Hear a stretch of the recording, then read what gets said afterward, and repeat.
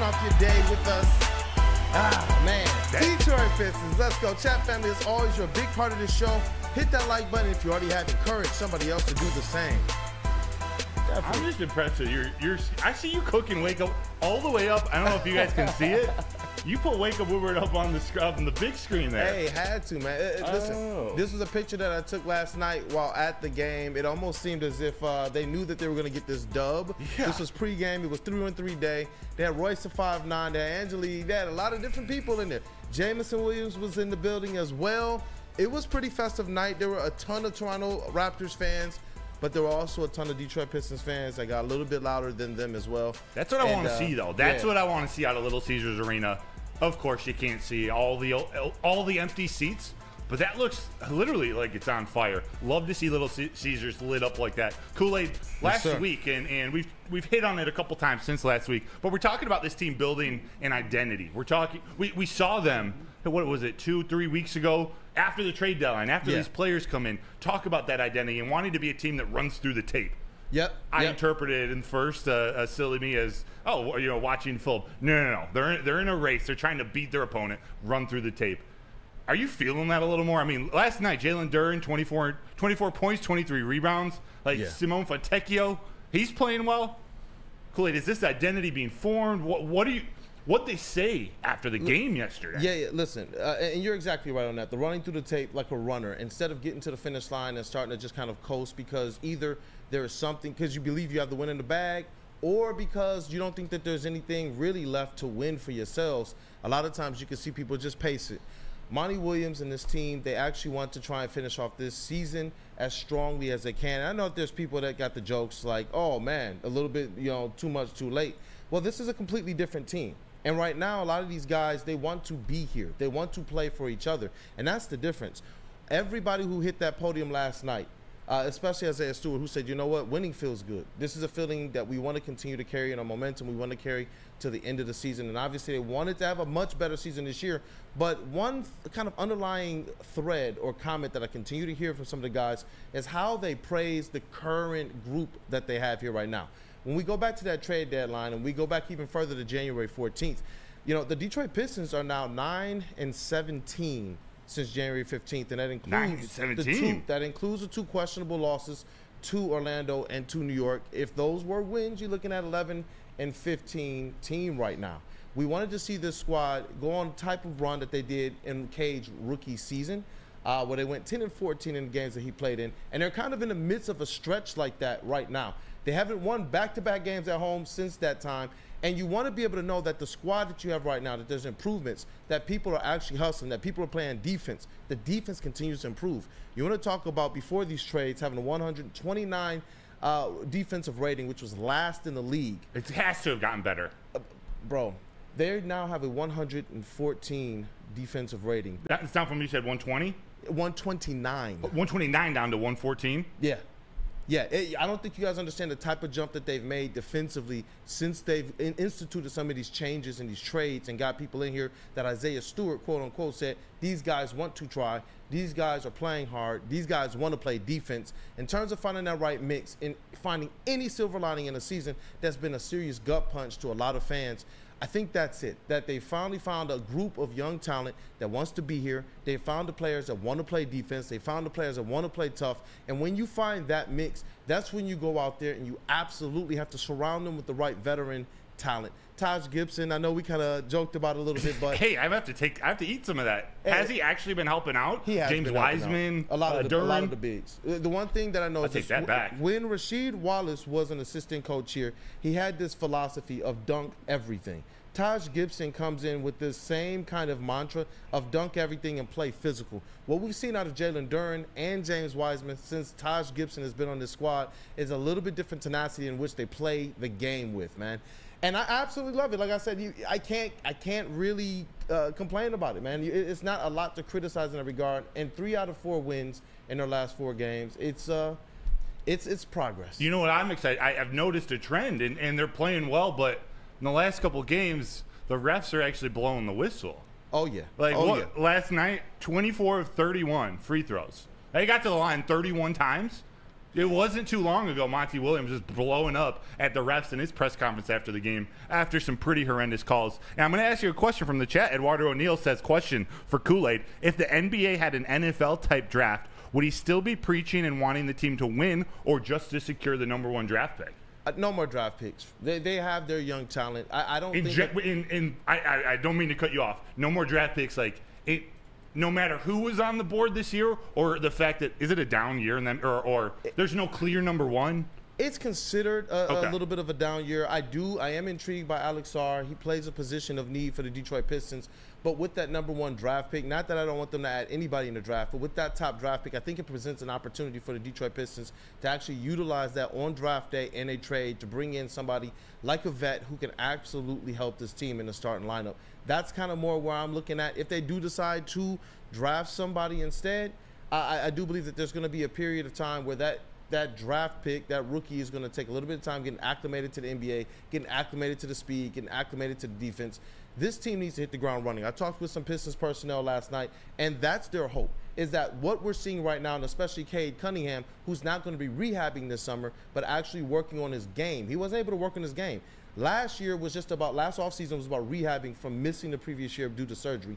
This year they have uh, expectations of hitting the ground running when next season begins, and I think that they do that best by trading out of this number one draft pick. I love that. I, I, think of it Out kind their of like that J.J. McCarthy, not this past year, but the previous year where his first season he wasn't able to practice in the offseason because or wasn't able to throw because of shoulder surgery. Each year his shoulders gotten stronger. He's got more comfortable with the offense. This isn't a J.J. McCarthy topic, but Sam Flannel. Kool-Aid was talking about the need for a veteran.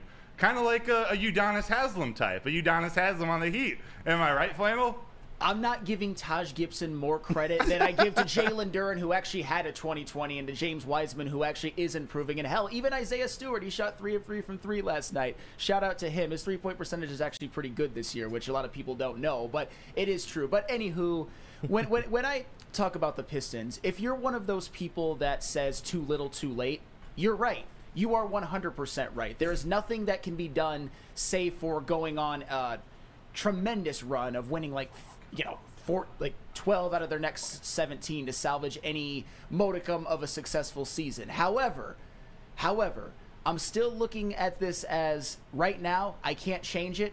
I want them to end this season successful. And i've said many many times that i want them to win 18 symbolically it would just be a terrible terrible look if they didn't win more games than they did last year with a healthy Cade Cunningham and last night presented a golden opportunity Kool-Aid I'm curious as you were there when you saw the lineup that Toronto was rolling out were you kind of like we better win this game we absolutely have to That's what everybody was saying Yeah. in media. Everybody was saying. Pistons personnel, media personnel, everybody was like, they got to go out there and they got to smack these guys. They have to. When, when you look at what the Detroit Pistons have on their side and the hope that they that they're trying to instill and, and, and project with this young crew, that's a game that you have to absolutely go out there and win. And it's like you said, Flannel, these are the games that, as you're counting, can they get to this 18? Go out there and win the games that you're supposed to, which is something that they were not doing earlier in the season at all. And it largely stemmed from the defensive side. And the only reason why we talk about Taj Gibson is because Jalen Duren, Isaiah Stewart, and James Wiseman, they're talking about Taj Gibson and what he's already doing for them on this squad. That's the only reason why I did bring it up. And uh, they're saying that he's making an impact already.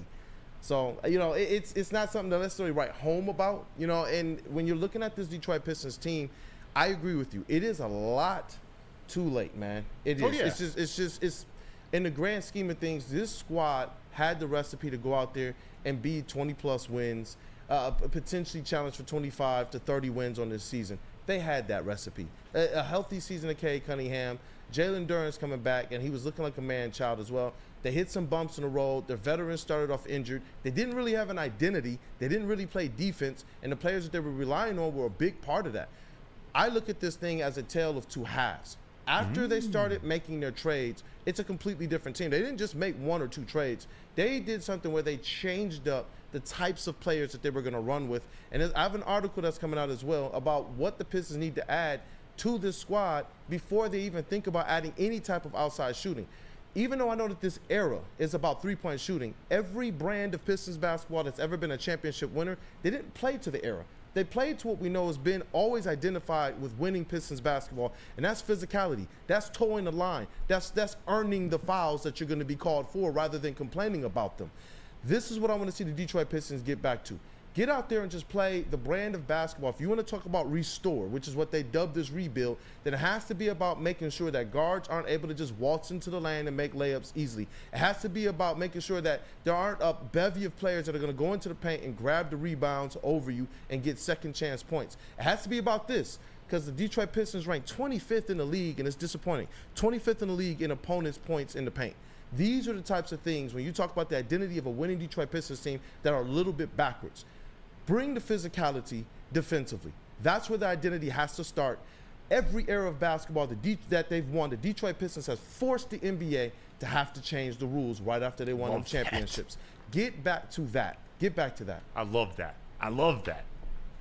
Bro, it, it, it, it's at least something to be excited about going into this last stretch. They're battling. Oh, that, that's why I, I had that smirk on my face. Uh, we are talking yesterday. Is there a road to 18 wins? Like, are they gonna pull this off? the, the flannel way. yeah. the flannel road. No, there there most certainly is. I mean, I'm looking at this current homestand that they're on, and I touched on it briefly yesterday. They've won three out of their first four. They got two against Miami. Go split those.